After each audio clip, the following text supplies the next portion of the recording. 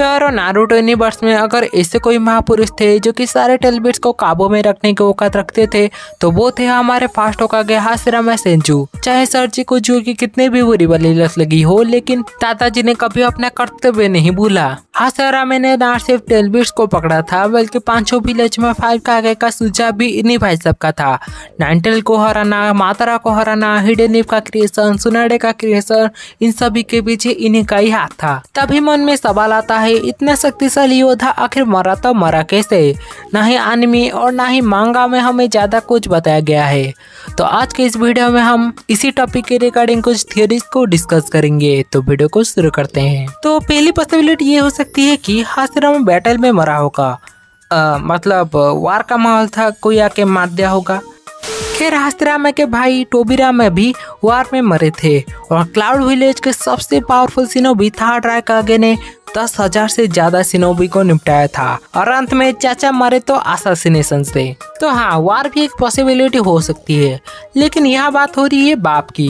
हास्तिरामा सिंजू उस वक्त का सबसे पावरफुल सिनोबी वैसे भी उसका पहले भी असासिनेशन हुआ था। नारुटोपीडिया के हिसाब से, काकोजो ने हास्तिरामा को मारने की कोशिश की थी, जिसमें वो पूरी तरह से फेल हुआ था। मतलब क्या सोच के गया था हास्तिरामा को मारने? खैर हास्तिरामा जैसे सिनोबी को असासिनेशन से मारना तो नियरली इम्पॉसिबल है।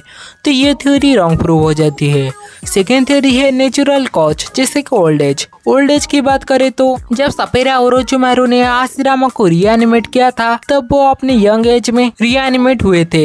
जबकि बाकी होगा के उसी स्टेज में रियानिमेट हुए थे जब वो मरे थे। हाँ यहाँ मादारा की बात नहीं कर रहे हैं, क्योंकि काबुडो ने अपने एक्सपेरिमेंट में मिर्च मसाला डाल के कैसे लेकिन मादारा को अपने प्राइम स्टेज में ज़िंदा किया था। तो ओल्ड एज की बात तो छोड़ ही दो। खैर, अगली थ्योरी की बात करें तो ये थोड़े वेट साउंड कर सकती है, लेकिन फिर भी सेंस बनाती है। जब हासिरामा और मादरा का बैटल हुआ था वैल्यू ऑफ़ द एंड में, तब हासिरामा ने मादरा को हरा दिया था। उसके आगे की स्टोरी तो आने में नहीं दिखाया गया है, लेकिन इस थियोरी के हिसाब से हासिरामा अपने परम मित्रों को खोने के बाद डिप्रेशन में चले गए थे। और जब वो खुद को एक होकागे के लिए वर्ती नहीं मानते हैं तो वो टोबीरामा को होका के बना के खुदकुशी कर लेते हैं। ये थोड़ा इलॉजिकल साउंड कर रहा होगा कि इतना पावरफुल सिनोबी आखिर खुदकुशी क्यों ही करेगा? लेकिन ये बात को इग्नोर नहीं कर सकते कि हासिरामा ने एक बार मादरा के कहने पे खुदकुशी करने की कोशिश की थी। और अगर नारुतो भी कभी सासके को मारता था तब भी चांस है कि वो डिप्रेस्ड हो जाता। खैर, अब आखिरी थियरी के बारे में बात करते हैं।